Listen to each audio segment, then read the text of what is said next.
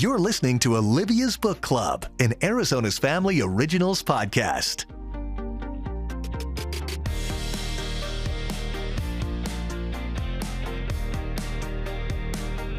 Happy mid May readers. This is the time of year, a tantalizing time of year, when all of our beach reads that we've been waiting for since last summer are starting to hit bookstores and bookshelves everywhere we go. And among the most highly anticipated has got to be The True Love Experiment, a follow up to the instant New York Times bestseller, The Soulmate Equation.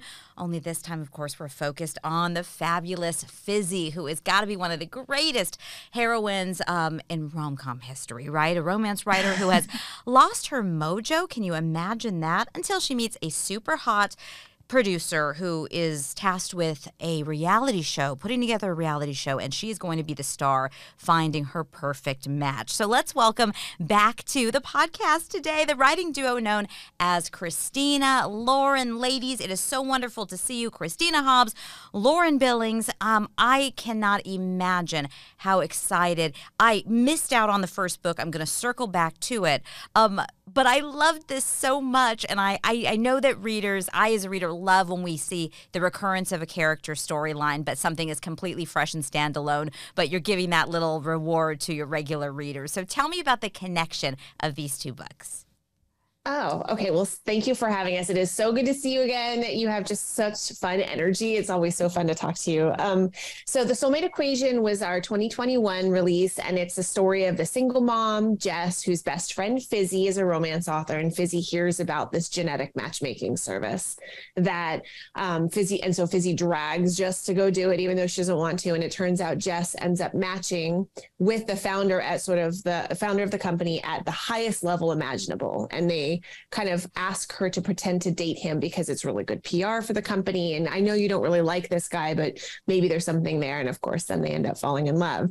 And after we went on book tour for that, our readers just really wanted Fizzy to get a book, and we had never really planned to do that until we had an idea um, several months later, and we were like, "This is going to be perfect." And we really wanted to see Fizzy get her own happily ever after, and just having her have lost her joy felt like kind of sad because in the soulmate equation, she's just like the joy of the book, and so we wanted to figure out how she would find her way back to that. And of I, course, it's with Connor. I was so excited to hear that from you because I was wondering if you guys had in mind that she would always be the focus of a story uh, later on, or if it was reader reaction, because she is the kind of person that you want to spend time with. She's just super unique, totally confident, a really cool chick, and uh, it's she's kind of like that role model for people who are like wanting to just make their own rules, and then she peels back the curtain on your industry as well, and all of the the things that we're looking for when we're creating romance that people can get excited about.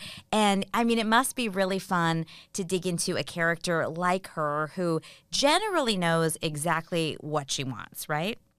Mm-hmm. Well, I mean, that's sort of what was hard is that if you meet Fizzy in the soulmate equation, she kind of seems like she's got her life all together. She seems happy and like she knows exactly what she wants and she's like is going after it. And so when we sat down and really thought like, do we want to write a, a, book about Fizzy? It's like, how do we take this character that was initially just meant to kind of help guide Jess on her way or for like comedic relief and that kind of thing? How do we make her be a vulnerable reader. Like how do we make Fizzy the main character? Yeah. and um, how do we find her vulnerabilities and where she's struggling and all, what is her story? And so as soon as we found like as soon as we realized that Fizzy had lost her joy um, it all sort of came out her voice was very clear from like that first chapter the real problem came in connor because it was like now how do we find this person who deserves all of that mm-hmm.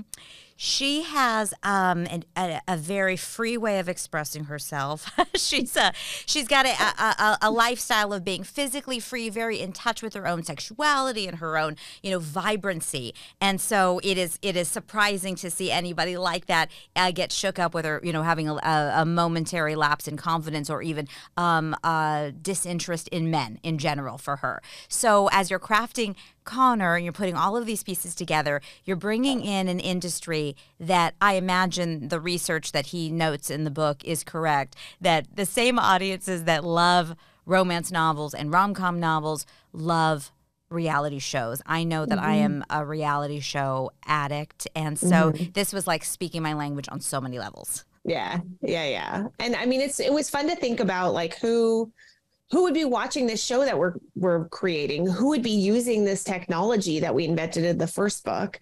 And you know for fizzy she isn't a romance author who's writing love stories. And she has this epiphany at the beginning that she has never been in love before.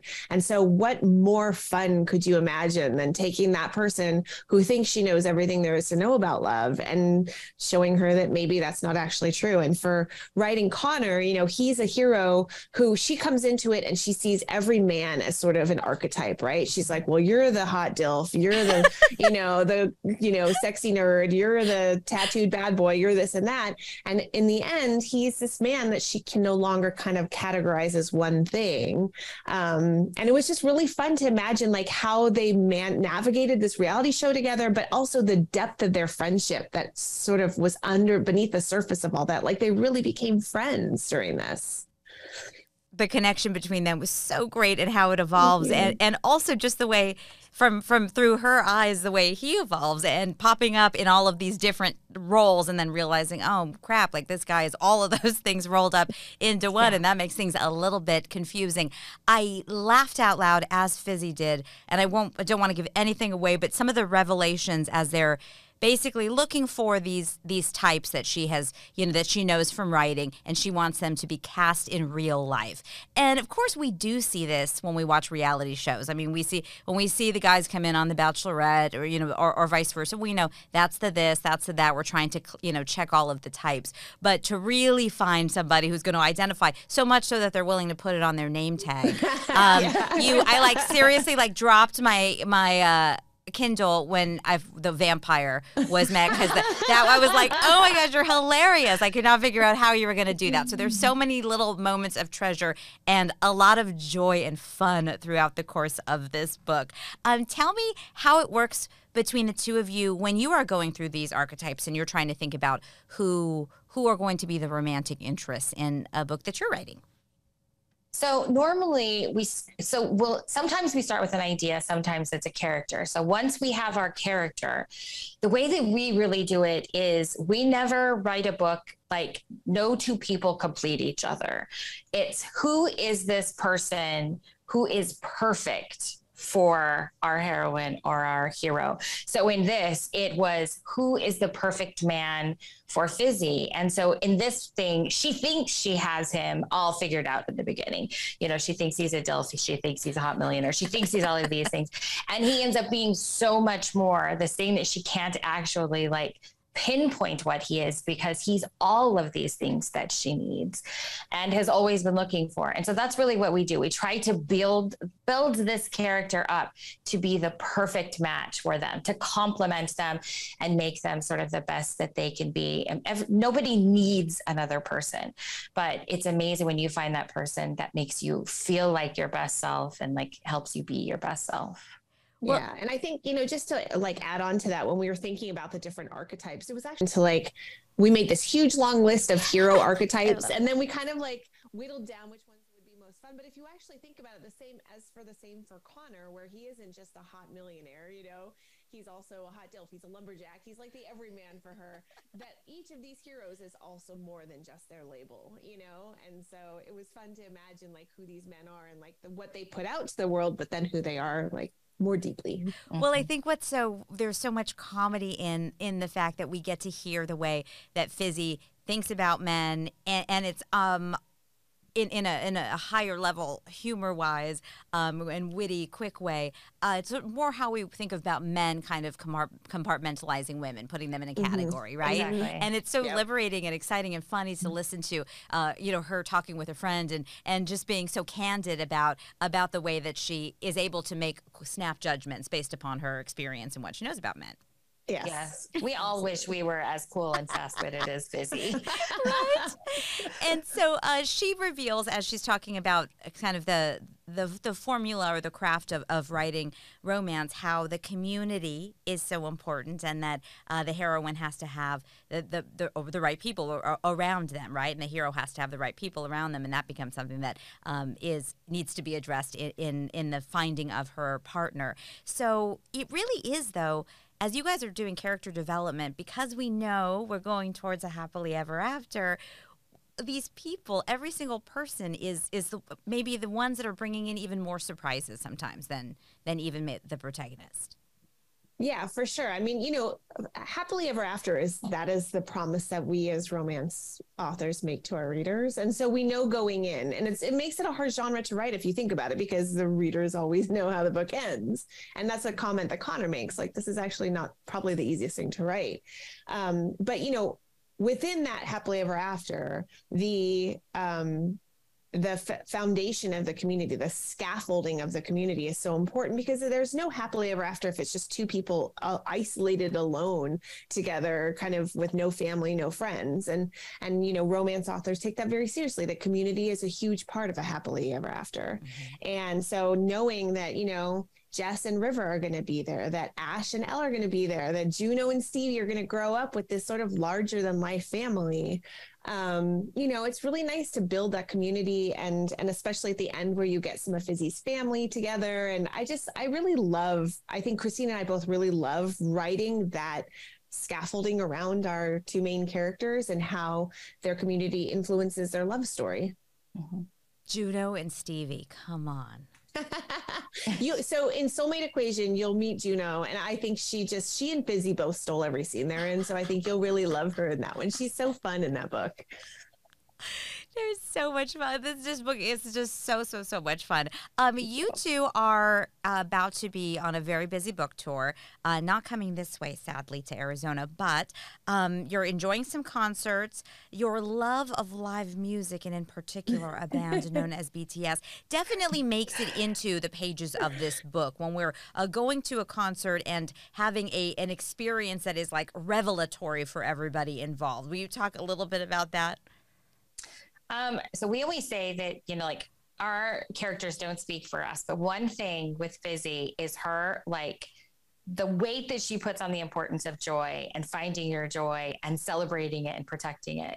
And Lo and I's favorite thing, you know, so there's a group in this book called Wonderland. And um, if you read our acknowledgments, we say Wonderland is not BTS, but we are inspired. The joy and the happiness um, and the inspiration that they give people is very similar to how we feel about BTS. So, going to concerts, being surrounded by people who are as excited about something as you are. And it is, it's sort of this like, I wouldn't say like religious experience, but we are all experiencing this thing together, like physically.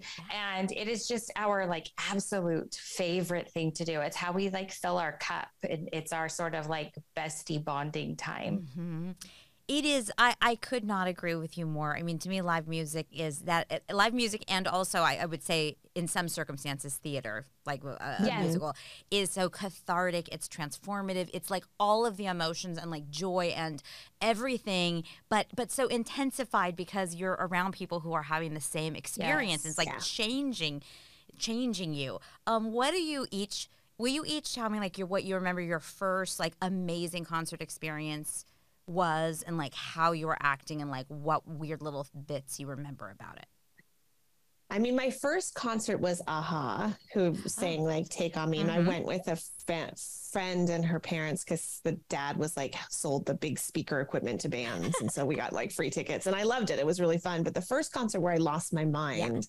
was Depeche Mode. Oh. I and I was in like the fourth row, and Dave Gahan like had this super sweaty shirt, and you could tell he was just like, uh, and he like took it off and threw it, and it like slapped me in the face, and I was just like. I was like 13 and I was like, oh god. I was like so grossed out and of course somebody behind me just yanked it and took it and i was like yuck. And i mean now i can totally see everyone was like give me that give me that but it was honestly so fun you know? And it changes you that feeling of just the adrenaline and like they're right there and the music i love is like right in front of me. There's just nothing like that it's you know? crazy So um, this is a good example of how everything old is new again because I have a 22 year old daughter and sh- I just got her tickets to Depeche Mode and Lo was like, that was my, first, you know, Yep. um, my first concert, I was 16 years old and it was Ozzy Osbourne and I had backstage passes and my daughter now, her one dream is to see Ozzy Osbourne. But when I was 16, he was on the No More Tours tour. It was supposed to be his last tour. And this is probably the coolest thing that to her, this is probably the thing I have done in my life that is the absolute coolest is this photo of me with Ozzy Osbourne when I was Giant 16. hair, Giant curl hair. tees, bangs. and- Yes. Oh my god. wow. So Yes. cute. Uh, you did not have to like bite the head off a pigeon or anything. though, to have No, the full I did experience. it. I Okay, did good. And I wasn't even there to like see Ozzy Osbourne. I think I was there to like most excited to see the group Slaughter that was Oh with yeah. them. Uh-huh. Um, but yeah, I had these passes and like what how insane is that? 16 year old just like so yeah, she thinks this is Amazing. just absolutely amazing. Very cool mom points, no doubt about it. Yes. Um, we we the, the concept of the reality show. Will you explain a little bit about about the show that they're putting on here in in in the book, and if there's any chance that we could see something like this in real life, what would it what would that feel like for us? It's funny because Christina had this dream not long ago. She woke up and she was like, Lo, I dreamt that they were making this like show into a reality show. And she's like, and then like five minutes later, I was like, wait a second, this technology doesn't even exist yet. Like the genetic matchmaking, because you know, a few companies have tried to do it, but it's hard because our genome is like 25,000 genes. And a lot of these companies are looking at like compatibility across one or two genes. And it's like if you had a dating questionnaire with 25,000 questions and mm-hmm. they aligned you with somebody based on two answers, like you wouldn't go for that. So there's just so much work that's required behind it. But the idea basically is there's this scientific genetic compatibility test, not com- genetic similarity, but genetic compatibility that looks at genetic sequences that are correlated with happiness in long term marriages and long term relationships. And so the question is, can the science predict, um, you know, a soulmate? And can an audience watching two people or, you know, fizzy with a group of people sort of fall in love, can they predict which one is the soulmate as determined by science? And so the mm-hmm. audience votes. There's like eight heroes, fizzy dates each of them, goes out with, on dates with them. And the audience watches these dates and votes on who they think she's um, should be eliminated until they choose a winner at the end. And they see if they have chosen the one that was predicted by the genetic assay to be her soulmate.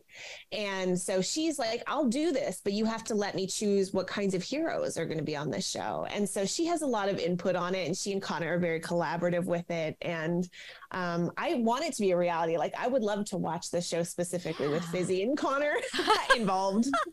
Yeah. Who would I would also take I would also take a show that is basically built like a romance novel. Like Yes. let's have it let's have a heroine and let's find her heroes. If, if Mhm. somebody wants to do that, they can like let us know. Totally. Not for us to be in it. No, no. you No, would no. do that. You would do the casting and the expert commentary. There you go. right? You And go. here's what's playing out now, and this is what we call this, and it's time to write in her best friend. We better bring in a friend from whatever, and then here, here we go. Oh, I love Yep. this show. I know.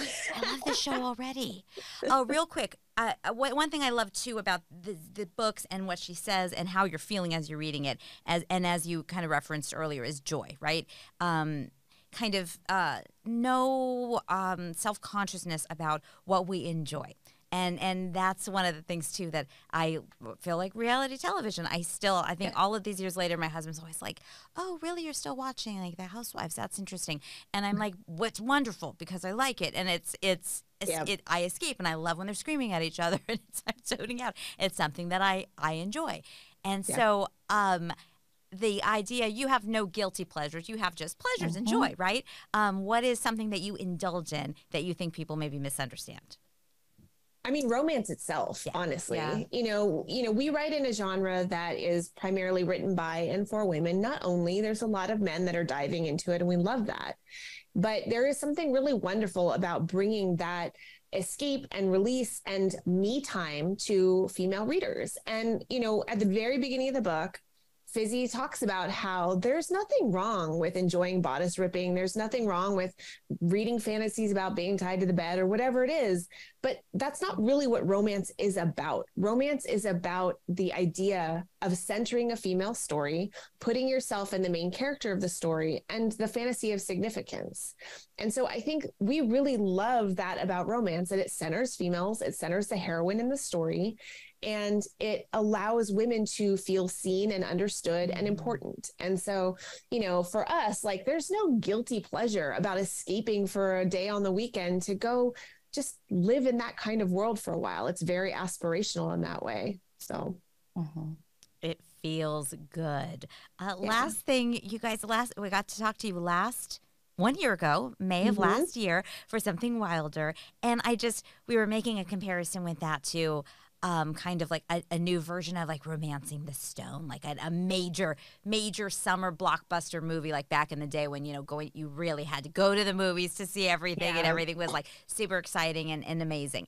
Um, please tell me that that's on the road to being a movie or series I mean, we. I That's a yes. I can, I can see it. I can say we had more interest in that book than any other book we've written. Really? So odds are good. I think it's just because you're putting you put it out in, a, in an environment that's so unusual for this kind of story. Like everything's in the city, and, and it was we could see it being shot out in Arizona, or you know the yeah, landscape yeah. is Utah and all of that.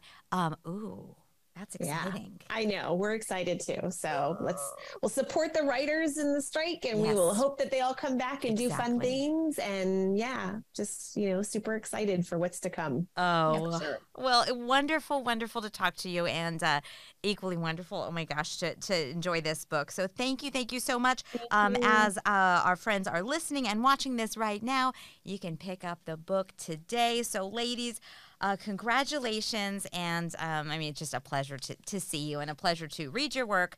Uh, so, The L- True Love Experiment. Thank Yay! you so much. it was so good to see you. Thank you. And we'll talk more about DNA next time because I too Yay. have the waxy ear genetic. It's a genetic thing. It has nothing to do with not being clean. Can we clarify that? Yes. totally. we do use Q-tips, people. We do. Yep. Bye, ladies. Bye. Thanks for listening to Olivia's Book Club, the podcast. I'm your host, Olivia Fierro. Our producer is Margaret Stewart. You can send us an email with your thoughts or your book recommendations. Olivia's Book Club at azfamily.com is the address. And you can check out Olivia's Book Club on Facebook or find us on Instagram. Hello, Bookstagrammers, at olivia's.bookclub. And Margaret is at overbooked and overdue. Make sure to rate and subscribe to this podcast and tell your friends. You can find us on Apple and Google Podcasts, Spotify, Stitcher, and Amazon Music. This is Olivia's Book Club, an Arizona's Family Originals podcast.